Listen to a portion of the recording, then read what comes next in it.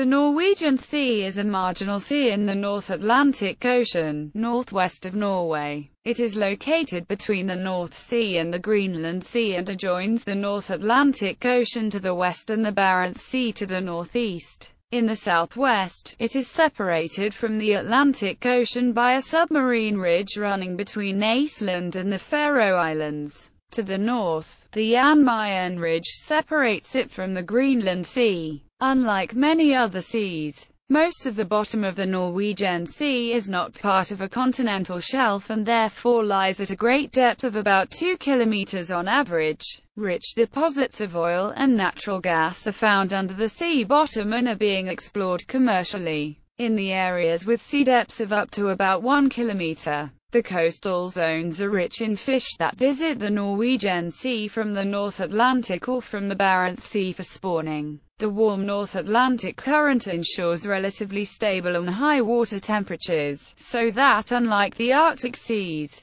the Norwegian Sea is ice-free throughout the year. Recent research has concluded that the large volume of water in the Norwegian Sea with its large heat absorption capacity is more important as a source of Norway's mild winters than the Gulf Stream in its extensions. Extent the International Hydrographic Organization defines the limits of the Norwegian Sea as follows. On the northeast, a line joining the southernmost point of West Spitsbergen, to North Cape of Bear Island, through this island to Cape Bull and thence on to North Cape in Norway. On the southeast, the west coast of Norway between North Cape and Cape Stadt. On the south, from a point on the west coast of Norway in latitude 61 degrees 00 north along this parallel to longitude 0 degrees 53 west thence a line to the knee extreme of Fuglo, and on to the east extreme of Gerpir in Iceland. On the west, the southeastern limit of Greenland Sea, a line joining the southernmost point of West Spitsbergen,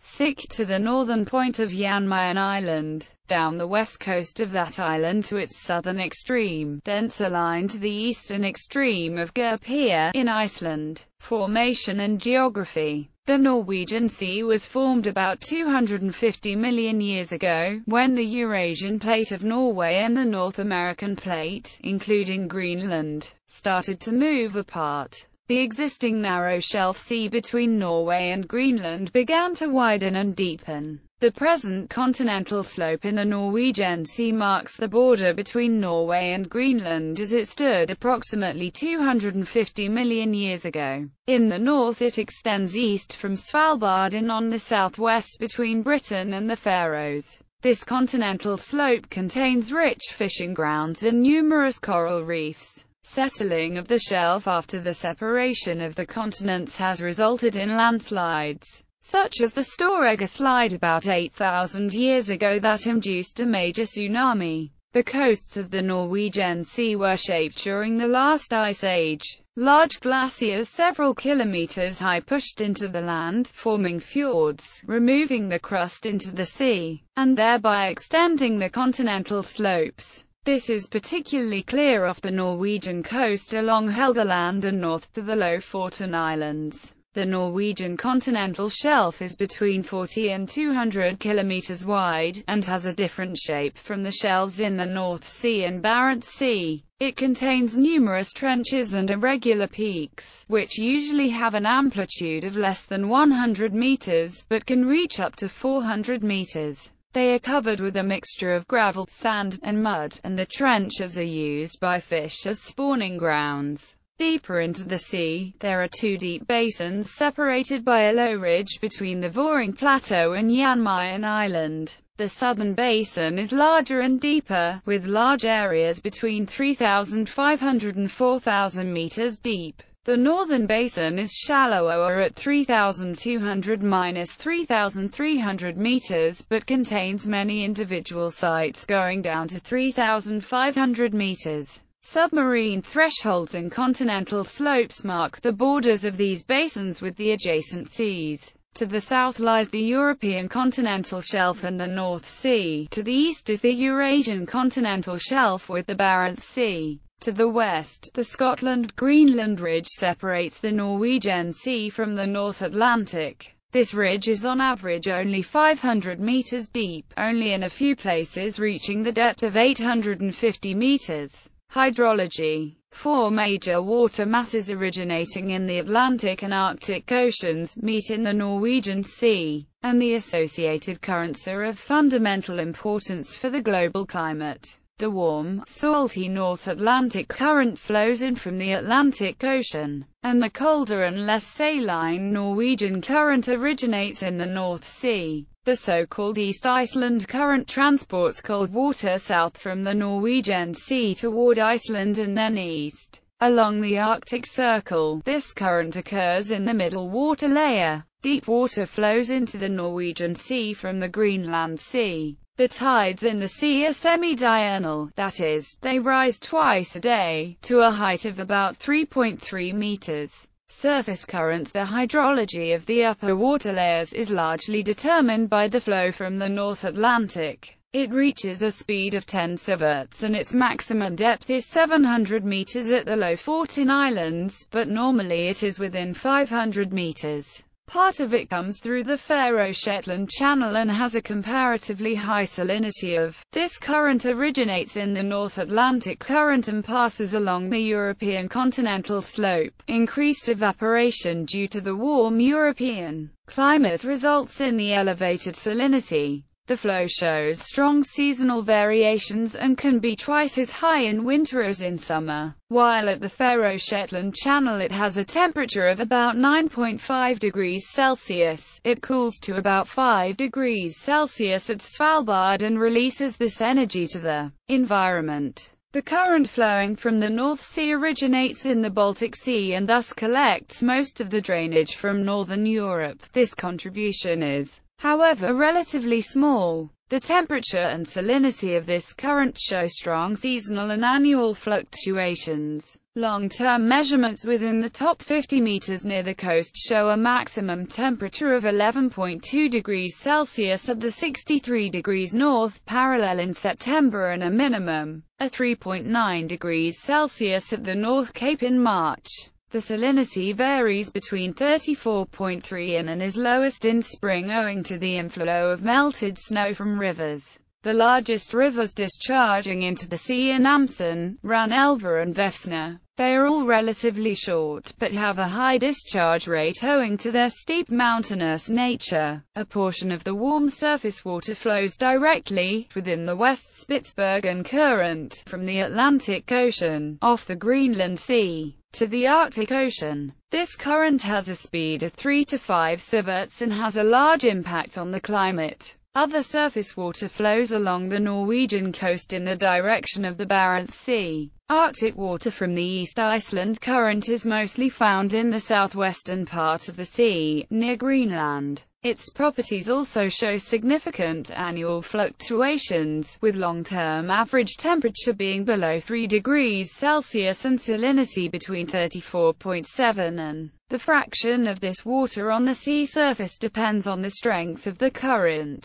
which in turn depends on the pressure difference between the Icelandic low and Azores high. The larger the difference, the stronger the current deep sea currents The Norwegian Sea is connected with the Greenland Sea and the Arctic Ocean by the 2,600-meter deep Fram Strait. The Norwegian Sea deep water occurs at depths exceeding 2,000 meters. This homogeneous layer with a salinity of experiences little exchange with the adjacent seas. Its temperature is below 0 degrees Celsius and drops to minus 1 degree Celsius at the ocean floor. Compared with the deep waters of the surrounding seas, NSDW has more nutrients but less oxygen and is relatively old. The weak deep water exchange with the Atlantic Ocean is due to the small depth of the relatively flat Greenland-Scotland ridge between Scotland and Greenland, an offshoot of the Mid-Atlantic Ridge. Only four areas of the Greenland-Scotland Ridge are deeper than 500 meters.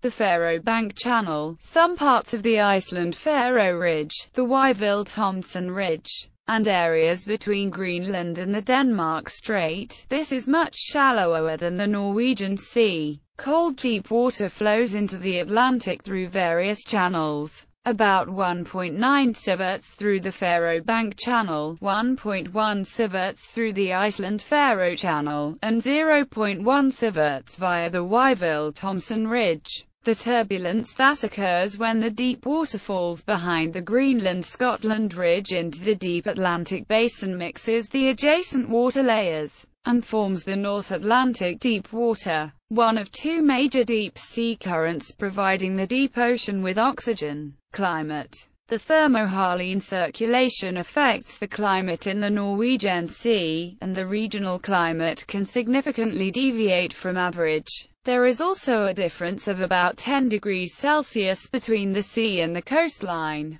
Temperatures rose between 1920 and 1960, and the frequency of storms decreased in this period. The storminess was relatively high between 1880 and 1910, decreased significantly in 1910 to 1960, and then recovered to the original level. In contrast to the Greenland Sea and Arctic seas, the Norwegian Sea is ice-free year-round, owing to its warm currents. The convection between the relatively warm water and cold air in the winter plays an important role in the Arctic climate. The 10-degree July isotherm runs through the northern boundary of the Norwegian Sea and is often taken as the southern boundary of the Arctic. In winter, the Norwegian Sea generally has the lowest air pressure in the entire Arctic, and where most Icelandic low depressions form. The water temperature in most parts of the sea is 2 to 7 degrees Celsius in February and 8 to 12 degrees Celsius in August. Flora and fauna the Norwegian Sea is a transition zone between boreal and Arctic conditions, and thus contains flora and fauna characteristic of both climatic regions. The southern limit of many Arctic species runs through the North Cape, Iceland, and the center of the Norwegian Sea, while the northern limit of boreal species lies near the borders of the Greenland Sea with the Norwegian Sea and Barents Sea, that is, these areas overlap. Some species like the scallop Chlamys islandica and capelin tend to occupy this area between the Atlantic and Arctic Oceans. Plankton and sea bottom organisms Most of the aquatic life in the Norwegian Sea is concentrated in the upper layers. The blooming of the phytoplankton is dominated by chlorophyll and peaks around the 20th of May. The major phytoplankton forms are diatoms, in particular the genus Thalassiosira and Chaetoceros. After the spring bloom the haptophytes of the genus Phaeocystis pouchetii become dominant.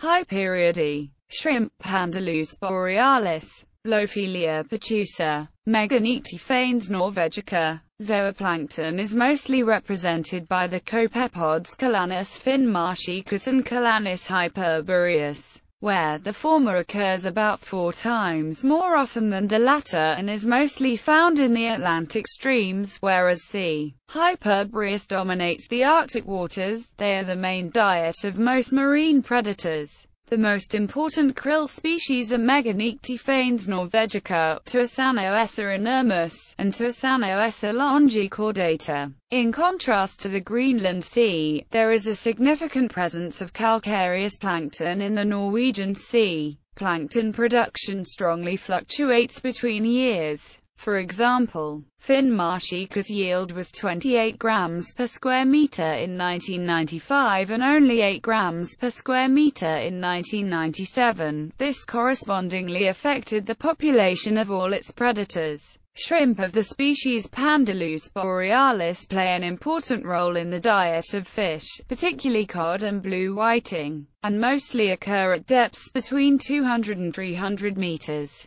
A special feature of the Norwegian Sea is extensive coral reefs of Lophelia pertusa, which provide shelter to various fish species. Although these corals are widespread in many peripheral areas of the North Atlantic, they never reach such amounts and concentrations as at the Norwegian continental slopes. However, they are at risk due to increasing trawling, which mechanically destroys the coral reefs fish The Norwegian coastal waters are the most important spawning ground of the herring populations of the North Atlantic, and the hatching occurs in March.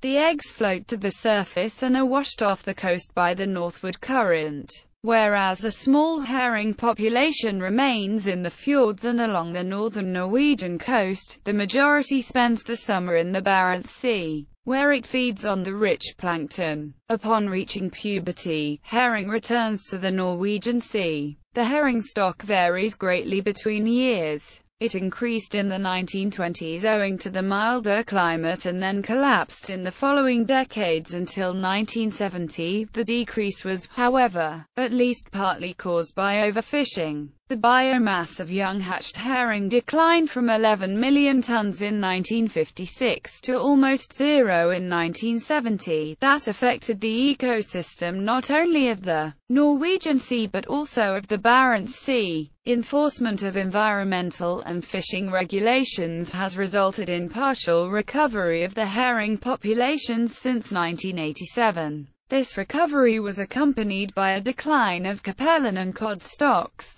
While the capelin benefited from the reduced fishing, the temperature rise in the 1980s and competition for food with the herring resulted in a near disappearance of young capelin from the Norwegian Sea. Meanwhile, the elderly capelin population was quickly fished out. This also reduced the population of cod, a major predator of capelin, as the herring was still too small in numbers to replace the capelin in the cod's diet. Blue whiting has benefited from the decline of the herring and capelin stocks as it assumed the role of major predator of plankton. The blue whiting spawns near the British Isles. The sea currents carry their eggs to the Norwegian Sea, and the adults also swim there to benefit from the food supply. The young spend the summer and the winter until February in Norwegian coastal waters and then return to the warmer waters west of Scotland. The Norwegian Arctic cod mostly occurs in the Barents Sea and at the Svalbard archipelago. In the rest of the Norwegian Sea, it is found only during the reproduction season, at the Lofoten Islands, whereas Pollachius virens and haddock spawn in the coastal waters. Mackerel is an important commercial fish. The coral reefs are populated by different species of the genus Sebastes mammals and birds significant numbers of minke, humpback, SEI, and orca whales are present in the Norwegian Sea, and white-beaked dolphins occur in the coastal waters. Orcas and some other whales visit the sea in the summer months for feeding. The population is closely related to the herring stocks and they follow the herring schools within the sea. With a total population of about 110,000, minke whales are by far the most common whales in the sea. They are hunted by Norway and Iceland, with a quota of about 1,000 per year in Norway. In contrast to the past, nowadays primarily their meat is consumed, rather than fat and oil. The bowhead whale used to be a major plankton predator, but it almost disappeared from the Norwegian Sea after intense whaling in the 19th century, and was temporarily extinct in the entire North Atlantic. Similarly, the blue whale used to form large groups between Jan Mayen and Spitsbergen, but is hardly present nowadays. Observations of northern bottlenose whales in the Norwegian Sea are rare. Other large animals of the sea are hooded and harp seals and squid. Important waterfowl species of the Norwegian Sea are puffin, kittiwake, and guillemot. Puffins and guillemots also suffered from the collapse of the herring population, especially the puffins on the Lofoten Islands. The latter hardly had an alternative to herring and the population was approximately halved between 1969 and 1987.